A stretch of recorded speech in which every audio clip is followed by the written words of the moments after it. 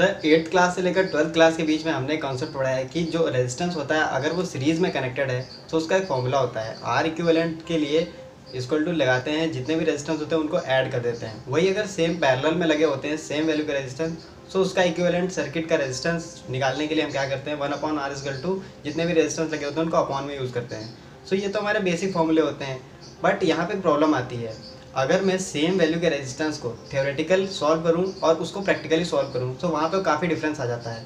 अगर मैं same value के रेजिस्टेंस को पैरेलली सॉल्व करता हूँ तो उसका आंसर सेम आएगा, जितना मेरा मैथमेटिकली आंसर आएगा, उससे सिमिलर पॉइंट फाइव के डिफरेंस के साथ आएगा। बट अगर मैं सीरीज़ में उसी रेजिस्टेंस को सॉल्व करूँ तो वहाँ पे मेरा सात से आठ ओम्स का अंतर आएगा। क्यों आएगा?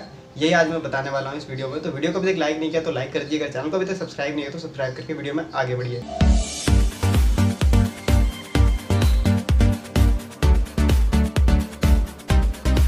आप देख सकते हैं, मेरे पास यहाँ पे कुछ इंस्ट्रूमेंट्स हैं जिनकी वजह से मैं आपको ये फार्मूला प्रूव करके दिखाऊँगा। सबसे पहले हम जो फार्मूला पढ़ते हैं, वो पढ़ते हैं सीरीज़ कॉन्सेप्ट के लिए। सीरीज़ कॉन्सेप्ट के लिए हम जिस आर इक्विवेलेंट निकालते हैं, वो पढ़ते हैं R one plus R two और पैरेलल के लिए हम पढ़ते हैं formula one upon R eq equal to one upon R one plus one upon R two यहाँ पर मेरा आर जो है, वो रेजिस्टेंस है।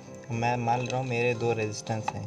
ये बल्ब है मेरे, इनका कुछ ना कुछ रेजिस्टेंस होगा, वही मेरे रेजिस्टेंस है। अब मैं इनको सीरीज़ और पैरेलल में कनेक्ट करूँगा, उसके बाद इनका रिज़ल्ट मैं अपने सॉल्यूशन से मैच कराऊँगा। सबसे पहले मैं सारी चीज़ें मेज़र कर लेता हूँ कि मेरे पास क्या क्या चीज़ें हैं। तो मेरे पास जो सप्लाई है, वो मेरे पास है 5.10 वोल्ट्स की। और मेरे पास ये दो जो बल्ब हैं, इसका मैं रेजिस्टेंस की बात करूँ तो इस इस बल्ब का जो मेरा रेजिस्टेंस है, वो 11.86 ओम्स है।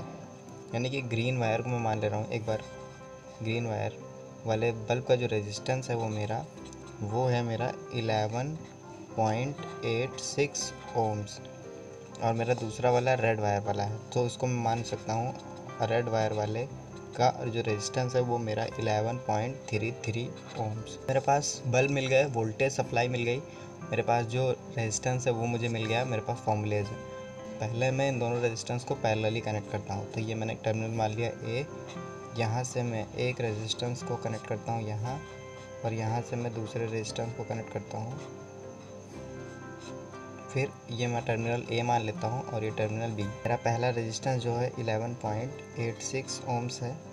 ये मैंने मान लिया आर वन और ये मैंने मान लिया आर टू दूसरा 11.33 तो अब मैं अगर आर इक्वेलेंट अपने फॉर्मूले यानी इस वाले फार्मूले से निकालूँगा तो कैसा आएगा मेरा?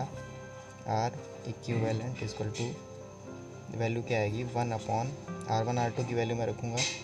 Eleven point eight six plus one upon eleven point three three अब इसको मैं सॉल्व करके आंसर निकालता हूँ। तो यहाँ पे जो मेरी रेजिस्टेंस की वैल्यू आई, वो आई मेरी आर इक्वेलेंट यहाँ पे रेजिस्टेंस की value I five point seven nine four ohms. ये मेरी आई रेजिस्टिव वैल्यू, जब मैंने इसको पैरेलली कनेक्ट किया। अब मैं इसको प्रैक्टिकली सॉल्व करता हूँ।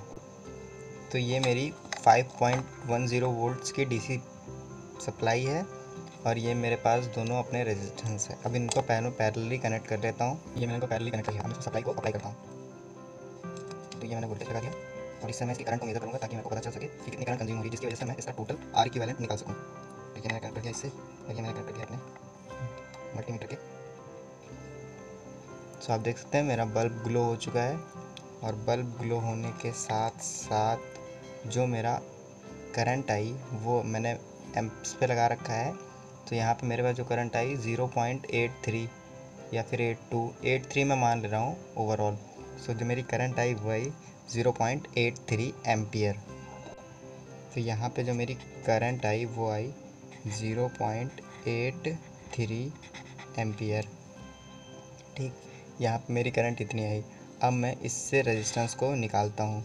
ये तो मेरा, मैंने फार्मूले से निकाला था। अब मैं इस करंट और मेरे पास वोल्टेज है 5.10 वोल्ट्स अब मैं इससे जो है अपना आर इक्विवेलेंट निकालता हूँ। तो आर इक्विवेलेंट के लिए मुझे निकाल रखना होगा। 5.10 अपॉन करंट 0. Eight three. तो अब मुझे अगर इसका रेजिस्टेंस निकालना हो तो मैं अपने कैलकुलेटर में इसकी वैल्यू को पुट करता हूँ और डिवाइड कर देता हूँ अपनी करंट से। तो मेरी current I zero point eight three amps तो मेरा जो रेजिस्टेंस आया 6.1 यानी कि सिमिलर आ गया। इसके बहुत ज़्यादा करीब आ गया। थोड़ा बहुत वेरिएशन चलता है रेजिस्टेंस वगैरह में, क्योंकि कुछ हीट का प्रॉब्लम हो सकता है या मेरे वायर का कुछ रेजिस्टेंस हो। इसकी वजह से प्रॉब्लम आ रही है, लेकिन इतना ज़्यादा रेजिस्टेंस वेरिएशन तो ऑलमोस्ट चल जाता है। सो मेरा जो इस टाइम रेजिस्टेंस आया वो six point one four ohms आया। तो ये रेजिस्टेंस मेरा और ये रेजिस्टेंस ऑलमोस्ट सिमिलर है। बहुत ज़्यादा वेरिएशंस नहीं है इस चीज़ में।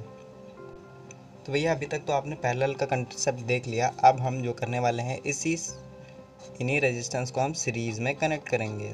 तो ये मैंने मान लिया रेजिस्टेंस वन ये मैंने मान लिया रेजिस्टेंस टू ये मेरा आर वन ये मेरा आर टू ये मेरे टर्मिनल ए और ये टर्मिनल बी सो so, अब मैं यहाँ पे अपने रेजिस्टेंस की वैल्यू पुट कर लेता हूँ। 11.86 मेरा पहला रेजिस्टेंस था दूसरा था 11.33 ओम्स ये आ गया मेरा रेजिस्टेंस अब अगर मुझे इसको फॉर्मूले से सॉल्व करना था फॉर्मूले से सॉल्व करने में मेरे को आपको भी पता होगा कि बहुत सिंपल तरीका से इसको सॉल्व करते हैं। यहाँ पर मैं दोनों रेजिस्टेंस की वैल्यू रखूँगा R one plus R two R one R two रखूँगा सो मैं यहाँ पर अगर वैल्यू रखूँ zero point eight six plus eleven point three three. तो अगर इसमें अगर सम कर दूँ तो सो अगर मेरी वैल्यू जो आएगी, वो आएगी twenty three point one nine ohms ये मेरा आंसर आया इसको सीरीज़ में सॉल्व करने के बाद। अब मैं इसको प्रैक्टिकली फॉर्म में देखता हूँ। अब मेरा जो आंसर है, वो बहुत ज़्यादा कमज़ोर आने वाला है या आप कह सकते गलत आने वाला है इस तरीके से। तो ये मेरे वही दोनों बल्ब जिनका रेजिस्टेंस मैंने बता रखा है, ये है, ये दोनों का रेजिस्टेंस और ये दोनों मेरे बल्ब इनको मैं बैक टू बैक यानी सीरीज़ में कनेक्ट कर दे रहा हूँ।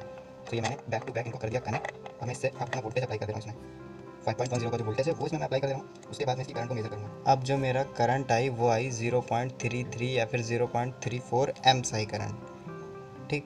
तो ये मेरा सीरीज़ में कनेक्ट है। आप देख सकते हैं बल्ब बहुत लाइटली ग्लो हो रहा है। बहुत ज़्यादा लाइटली ग्लो हो रहा है बट बल्ब ग्लो हो रहा है। आप ध्यान से देखें तो आपको बल्ब ग्लो होता हुआ दिखेगा। सीरीज़ में इसलिए बहुत स्लो चल रहा है।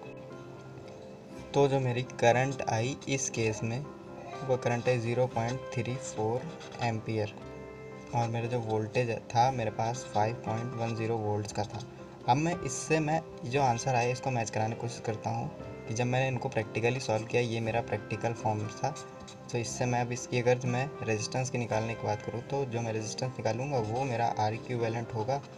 वी बाई आर के, यानी कि मेरा जो वोल्टेज है five point one zero volt है और जो मेरी करंट है zero point three four amps है। तो इसको मैं अगर सॉल्व करूँ तो जो मैंने प्रैक्टिकली सॉल्व किया, जो मेरा वोल्टेज था, वो फाइव पॉइंट वन ज़ीरो था। और इसको मैं डिवाइड कर दे रहा हूँ अपनी जो करंट मैंने मेज़र की अपने एम्पियर मीटर से। तो यहाँ पर मैं करंट को वैल्यू पुट करता हूँ ये आई मेरी करंट की वैल्यू तो इसको अगर मैं सॉल्व करूँ तो मेरा जो आप देख सकते हैं रेजिस्टेंस आया फिफ्टीन ओम आया। अब आप देख सकते हैं कितना ज़्यादा डिफरेंस आ रहा है। यहाँ पे मेरा फिफ्टीन ओम आ रहा है आंसर और यहाँ पे देख सकते हैं मेरा ट्वेंटी थ्री ओम आ रहा है। तो ये मेरा थियोरेटिकल सॉल्यूशन था और ये मेरा प्रैक्टिकल सॉल्यूशन था।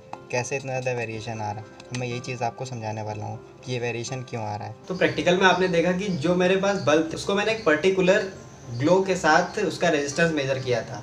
लेकिन उसको मैंने जब पैरेलल में लगाया तो वो ग्लो सेम था दोनों बल्ब के लिए, क्योंकि वहाँ पे जो वोल्टेज था, वो उस दोनों में सेम जा रहा था। लेकिन अगर मैं उसको सीरीज़ में लगा रहा था तो वहाँ पे उसका जो ग्लो था वो कम हो जा रहा था, क्योंकि उसकी वजह से वहाँ पे जो वोल्टेज मेरा डिवाइड हो जा रहा था। अब वोल्टेज डिवाइड होने की वजह से वहाँ पे उसकी पावर कंजप्शन है वो कम हो जा रही थी। इसकी वजह से जो मेरा रेजिस्टेंस है वो डिफरेंस आ रहा था। सो अगर मुझे सेम रेजिस्टेंस निकालना है तो मेरे को उतनी ही ब्राइटनेस पे उन बल्ब को ग्लो कराना पड़ेगा। जब उतनी ब्राइटनेस पे मैं ग्लो कराऊँगा, तब जाके मेरा जो रेजिस्टेंस है वो ऑलमोस्ट सिमिलर आएगा। सो इस डिफरेंस को आपको ज़रूर याद रखना है, तब जाके आपको कोई प्रैक्टिकल इस तरह का सॉल्व करना है। सो आज के वीडियो में इतना ही था वीडियो अच्छा लगा हो तो लाइक कर दीजिए.